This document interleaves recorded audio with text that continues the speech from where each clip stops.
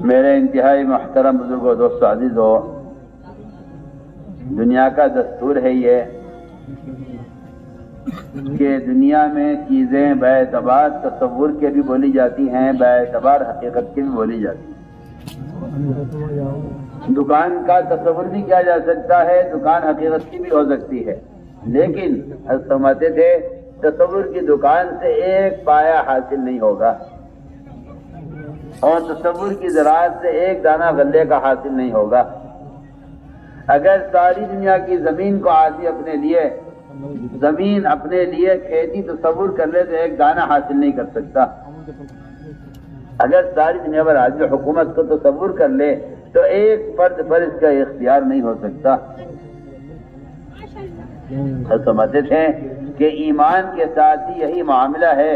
کہ ایک ایمان کی حقیقت ہے کس کا تصور ہے۔ معاف کیجیے گا اس زمانے میں مسلمان ایمان کے تصور پر کفایت کیے ہوئے ہے مسلمان ایمان کے تصور پر کفایت کیے ہوئے ہیں۔ جبکہ حقیقت یہ ہے کہ ایمان کو جاننا بھی ایمان نہیں ہے۔ ایمان کو جاننا ایمان نہیں۔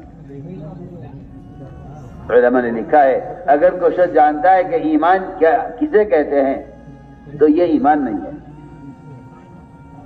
ایمان کا علم کا کوئی تعلق نہیں ہے۔ اور ایمان جاننے کو کہتے ہی نہیں ہے۔ ایمان جاننے کو کہتے ہی نہیں۔ علماء نے لکھا ہے ایمان مومن کی قلبی حرکت کا اس کی عملی حرکت کا نام ایمان ہے۔ اس کی عملی حرکت کا نام ایمان ہے۔